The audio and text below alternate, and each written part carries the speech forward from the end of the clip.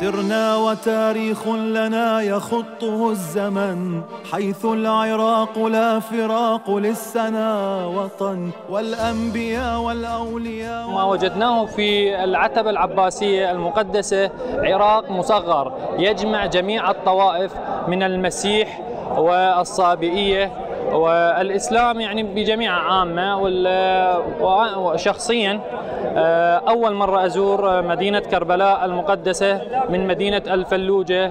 فما شاء الله على هذه المشاهد الرائعة. ما وجدناه بكل رحابة صدر آه، من شيخهم وشبابهم ونسائهم وأطفالهم جميعهم يرحبون بمدينة الفلوجة. فهذا آه، دل على شيء دل على ألفة ومحبة قلوب العراقيين جميعا.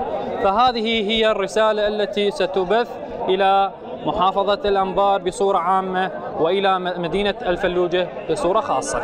طبعا أوصل رسالتي بأنه الأجواء هنا كلش طيبة كتعاملهم كاحترامهم كاستقبالهم لنا والحمد لله والشكر. ما قصروا أبد. فرحنا لين جمعت الجامعات كلها وكل الطوائف بدون تفرقة وبدون طائفية. كمسيحية مسلمين إيزيدية كرات. قدومنا من الموصل استغرق كثير من الوقت لكن بداية دخولنا لكربلاء من اللحظة الأولى نسينا كل التعب نسينا كل الإرهاق.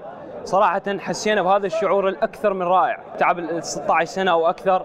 نجي من آه، أرض كربلاء نردد القسم. هذا الشعور طبعا كلش فخر نفتخر إحنا به سرنا ومنهاج السماء دائما دليل والعلم والكتاب في مسيرنا خليل. وللتفاني قصة عنوانها أصيل. قد صاغها. هو التخرج بشكل عام هو شيء جيد. يوم أنت تنهي مسيرة طول 12 سنة أو 13 سنة هذا الشيء جدا جميل بحد ذاته. كيف إذا كان هذا الختام يكون بحضرة الأئمة الأشراف وأبو الفضل العباس والحسين رضي الله عنه؟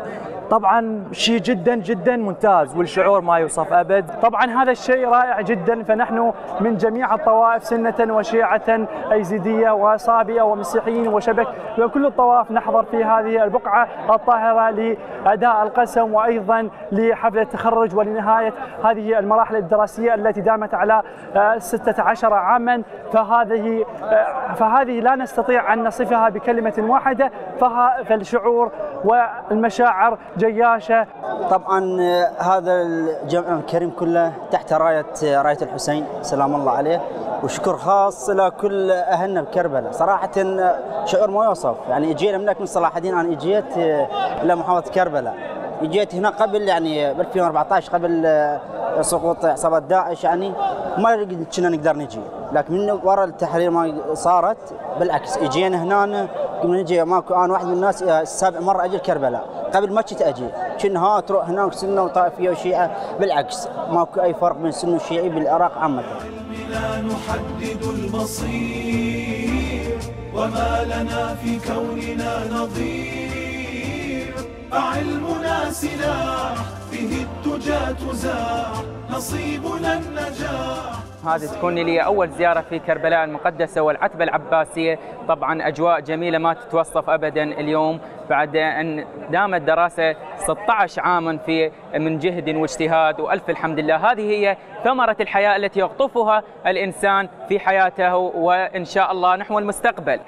والله نشوف الأجواء كلش زينة والناس طيبة ومحترمين وكليتهم على راسي وأفتخر بهم أني اليوم في كربلاء المقدسة من عتبة العباسية أشوف ماكو أي فرق بين السني والشيعي كليتنا اخوه وإن شاء الله دائما دحوة الأفضل والعراق بخير. ومن نشوف هالوجوه هاي نقول إن شاء الله دائما العراق نحو التقدم. راح نوصل رسالة إنه إحنا نحب نختتم أعظم مسيرة دراسية بحياتنا آه، قدام أعظم وأقدس مكان بالعالم وبال العراق كله نعم بصراحة أحب أقدم جزيل الشكر لها ما قصرت لا ويا الطلاب ولا ويا الأساتذة ولا ويا المنسقين.